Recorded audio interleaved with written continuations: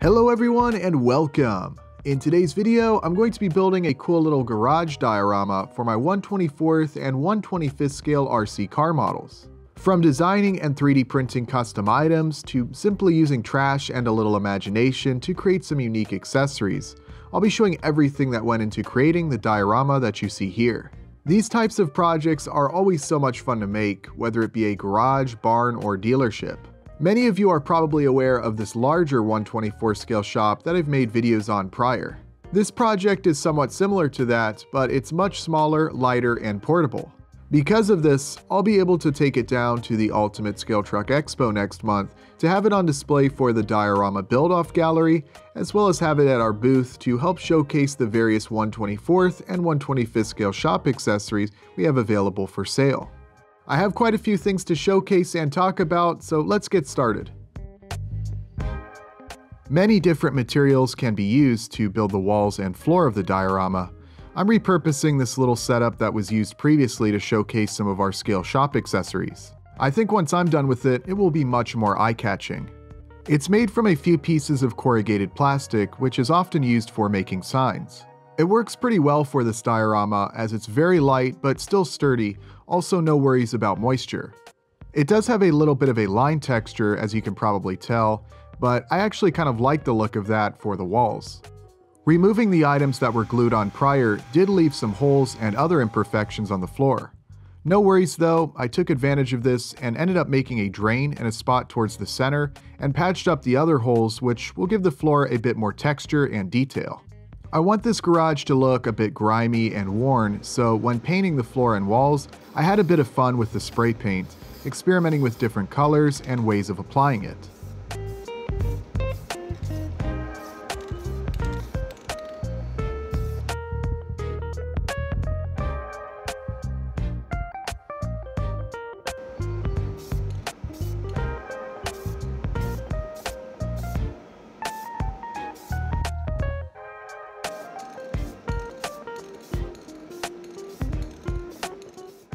Looking back, an airbrush probably would have been handy for some of this, but hey, it just goes to show you don't need one to create something similar to what I have here.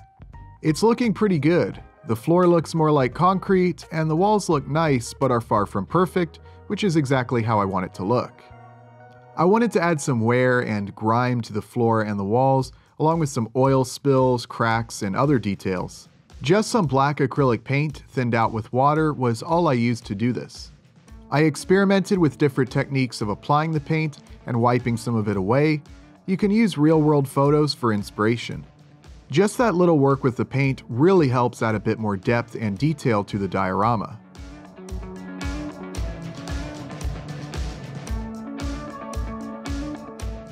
The walls and floor are looking good, so I'll go ahead and continue by adding some items.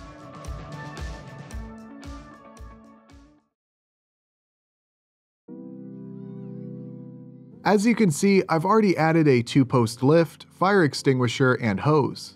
Now the lift and the extinguisher can be ordered from our shop, along with many other items you'll see throughout this video. STL files for many of these items can also be found on Patreon for you to 3D print at home. The links are below in the description.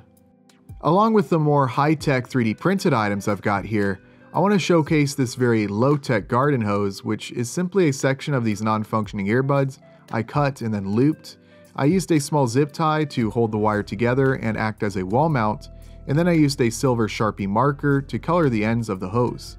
That's it, a little imagination and a little work is all it takes to turn random items into parts for a diorama, so always keep that in mind when building. Here you can see a bunch of items I already had on hand which are painted and ready to go into the shop. Again, many of these items, such as the workbenches, engine hoist, jack stands, and toolbox can be found for sale on our site. I've simply given them all a quick coat of paint and added a little grime. You'll see more of that process later on, but really there isn't much to it. I've also included a bunch of other random items as well, including some wood and pipe pieces, along with a number of parts from some plastic model kits. Just a lot of random stuff I've collected over time. These shelves here turned out pretty nice.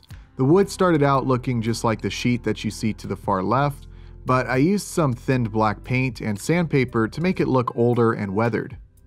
I glued some random parts and junk onto the shelves. That's actually the speaker up top from those same earbuds I tore apart for the hose.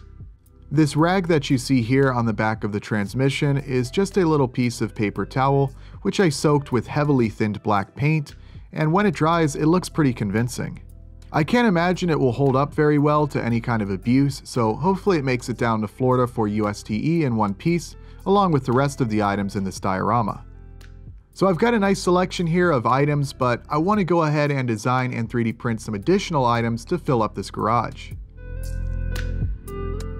I fired up Autodesk Fusion 360 and began designing a number of items that I can 3D print. I had a lot of items in mind that I'd love to add, but only so much time to make it all happen, so I chose 5 items that I wanted to create.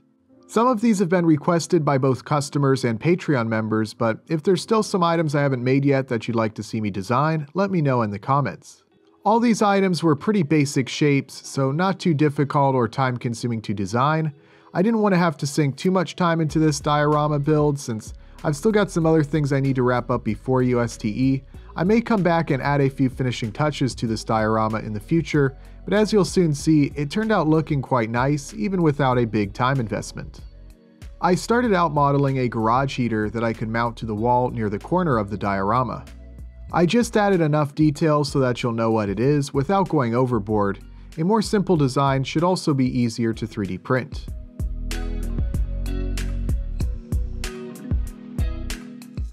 Next I modeled a 5-level steel shelf.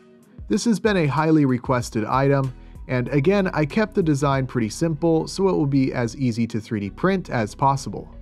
As you can see on the right, I always make sure I have some reference material on hand during the design process, and I look up the real world dimensions for each item. I then just divide those numbers by 24, and I know exactly what dimensions I need my items to be so they are the correct size for a 124 scale replica. I quickly modeled a roll-around stool. For some additional strength, I'll use a metal rod in the center instead of the entire stool being 3D printed. After that, I modeled a 5-gallon bucket. I integrated the metal handle into the design, which I'll be able to use a paint pen to hopefully make it look like metal. The final item I designed was a milk crate. I went into more detail when designing it, so due to its small size and higher level of detail, it will require an SLA or other high detail 3D printer. Just like with the buckets before, these crates will be a nice item to place throughout the shop, and I can put various parts and objects inside. With the design work complete, I then 3D printed each part.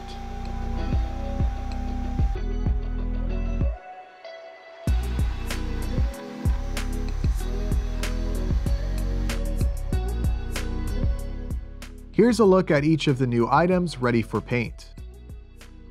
In addition to the parts I designed today, I also printed a toolbox, cooler, and shovel that I designed in a previous build video featuring that 1980 Dodge Ramcharger.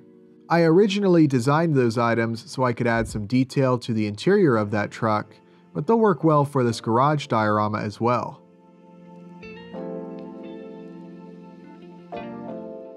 Again, just using simple rattle cans, thinned black acrylic paint, and some markers, I was able to paint, weather, and detail each one of these items. A very simple process, but the results turned out looking nice. It's fun not having to worry about perfection here, and the weathering process is quite satisfying. Amazingly detailed weathering is an art, but just using a little black paint is all you need to do something similar to what I have here.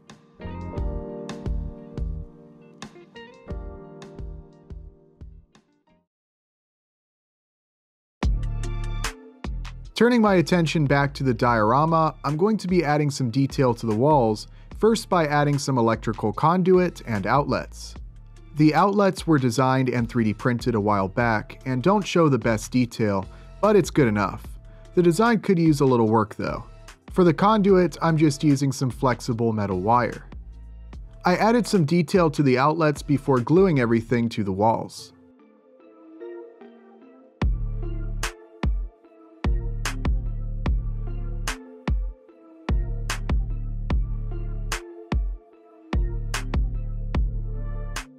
Although very simple, I really like the look of these outlets. It's a nice addition for sure. The outlets weren't the only thing I wanted to add to the walls, however. I next glued the heater into place and ran some conduit into the back of that as well.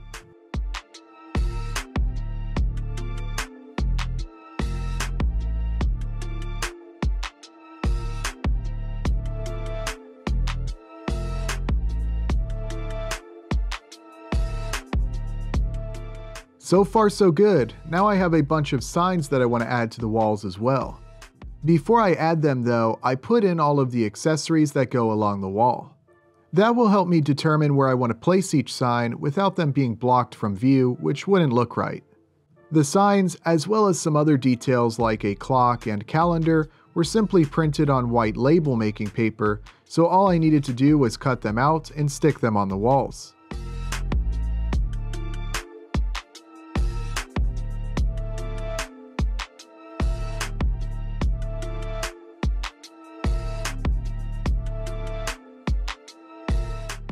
The shop is really starting to come to life. I continued by adding some more of the accessories that I had on hand and the ones that I just made, doing my best to securely glue most of them into place. Hopefully this diorama survives the trip down to Florida, at least mostly still intact.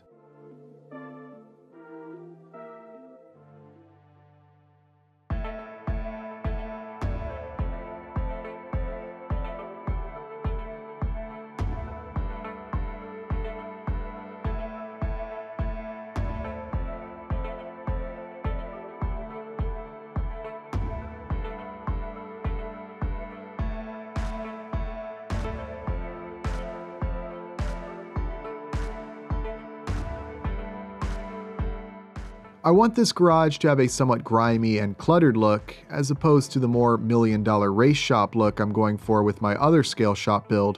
It's starting to look the part, but I grabbed a bunch of parts from an AMT 70 Camaro model kit, which I'll be painting and adding throughout the garage. When doing a model to RC conversion, you're often left with a bunch of parts from the model kit that don't get used, so they make great items for dioramas like this.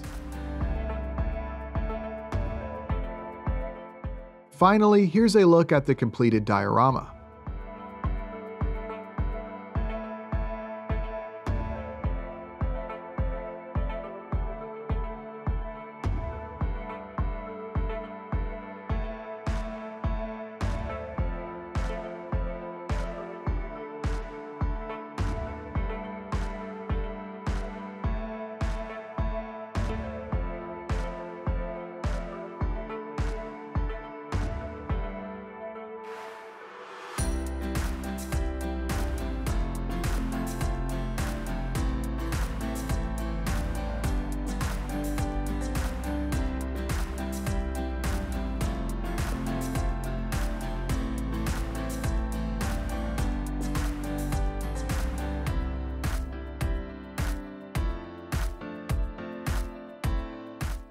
I love how it turned out. Hopefully it proves to be a real eye catcher. I like all of the little details and parts scattered throughout it. I'd still like to add a few things here and there, such as some tools and some cardboard boxes, but I've got some other projects I'm working on as well, so for now I'm wrapping up this diorama right here. These new items that I designed will be making their way onto our website for sale, and you will find the STL files for many of these items on our Patreon page as well. This was a very fun little project that I hope you all enjoyed watching. I'm looking forward to seeing all of the other amazing dioramas on display at USTE. Be sure to stay tuned for that, but for now, I want to thank you all very much for watching, and I'll see you next time.